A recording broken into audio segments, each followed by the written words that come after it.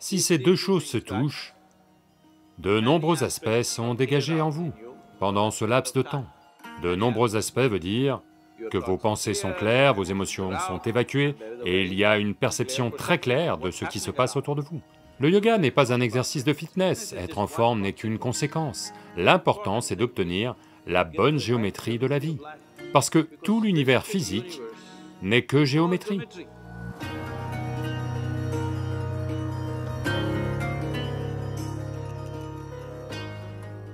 Pourquoi est-ce que partout où vous allez, pour, vous savez, prêcher ou parler, vous vous asseyez dans une certaine position, vous savez, avec la jambe gauche sans sandales, la jambe gauche repliée et la jambe droite au sol. Est-ce votre style ou est-ce la façon dont une personne doit s'asseoir?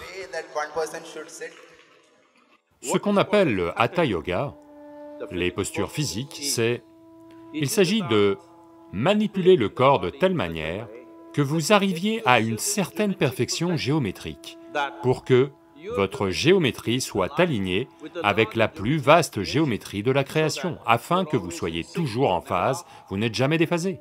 Et à quel point vous êtes équilibré, à quel point vous voyez clairement les choses et à quel point vous faites bien les choses, dépend simplement de à quel point vous êtes en phase avec tout le reste autour de vous, qu'il s'agisse de personnes ou d'arbres ou de vie, ou juste d'espace. Êtes-vous en phase avec ou non? Va décider à quel point vous fonctionnez de façon douce et fluide dans le monde. Maintenant, je ne suis pas assis comme ça tout le temps, seulement quand je parle. La façon dont je suis assis, si je dois l'expliquer, il y a bien des aspects à cela. Un aspect simple, c'est que le talon gauche le talon gauche est... Il y a un point sur le talon gauche qu'aujourd'hui les sciences médicales appellent Achille. Vous en avez entendu parler? Vous avez entendu parler de cet homme? Achille? Vous avez entendu parler de lui, vous avez vu le film. Vous n'avez pas vu le film? Trois? Vous ne l'avez pas vu? Un garçon innocent. Donc, vous mettez votre talon d'Achille sur ce qu'on appelle le Muladhara, ou périnée de votre corps. Si ces deux choses se touchent, de nombreux aspects sont dégagés en vous pendant ce laps de temps. De nombreux aspects au sens où vos pensées sont claires, vos émotions sont évacuées, et il y a une perception très claire de ce qui se passe autour de vous. Vous avez entendu qu'Achille a été tué parce que une flèche a été tirée sur son talon. Vous ne croyez pas que si quelqu'un blesse votre talon, vous allez mourir, n'est-ce pas? Mais Achille est mort comme ça. Et il y a quelqu'un d'autre qui est mort comme ça en Inde, bien avant lui. Hier était son anniversaire, Krishna Janmastami. Lui aussi est mort comme ça. Ce que cela essaie de vous dire, c'est qu'ils ont été tués de façon experte, pas juste en vous tranchant la gorge ou en vous cassant la tête, mais en mettant un point au talon d'Achille pour qu'il meure. Donc il y a un certain système, système énergétique dans le corps. Si ce point d'Achille est en contact avec votre Muladhara, lorsque vous vous asseyez comme ça, il y a un certain équilibre, et vous ne vous rangez d'aucun côté. Voyez, on a tous nos propres opinions, idées, idéologies, choses, nos propres expériences de vie.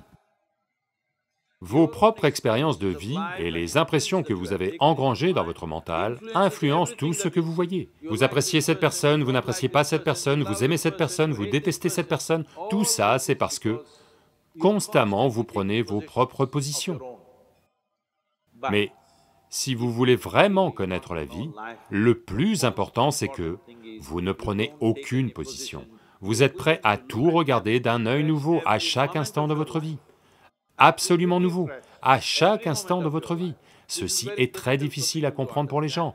Des gens qui sont avec moi depuis 30-35 ans, chaque jour ils sont avec moi, travaillent avec moi, à faire tant de choses, je n'ai toujours pas le moindre avis à leur sujet.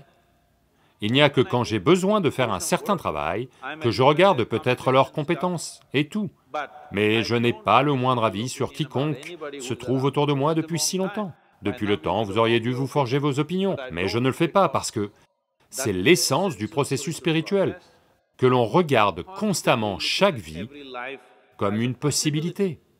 Il y a bien sûr une distance entre la possibilité et la réalité, Certains auront le courage et l'engagement de parcourir cette distance, certains n'auront pas le courage et l'engagement de parcourir cette distance. Mais chaque vie est une possibilité. Si vous voulez maintenir cette possibilité ouverte, vous ne vous forgez jamais d'opinion sur qui que ce soit. Bon, mauvais, laid, vous ne formez pas ces opinions, vous les regardez simplement là tout de suite. Comment sont-ils là maintenant, à cet instant, c'est tout ce qui compte pour moi. Comment vous étiez hier, pas mon affaire. Comment vous pourriez être demain, voyons voir. Demain doit être créé, pas bétonné là tout de suite, n'est-ce pas?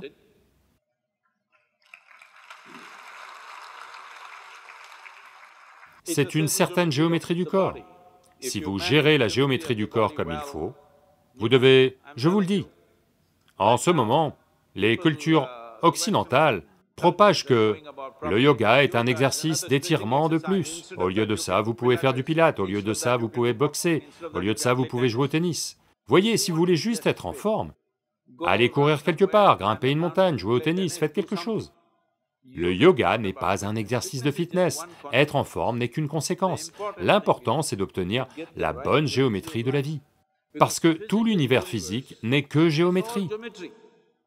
Là maintenant, ce bâtiment se tient ici. Combien de temps va-t-il tenir? Va-t-il nous tomber sur la tête aujourd'hui ou va-t-il tenir longtemps? Dépend essentiellement de son degré de perfection géométrique. Il en va de même du corps, il en va de même du système planétaire, il en va de même de l'univers, il en va de même pour tout. La planète tourne autour du Soleil, pas avec un câble en acier attaché à elle juste la perfection de la géométrie, n'est-ce pas? Si un petit écart de géométrie a lieu, elle est partie pour toujours, et cela vaut pour vous aussi. Si vous quittez votre géométrie fondamentale, vous êtes parti.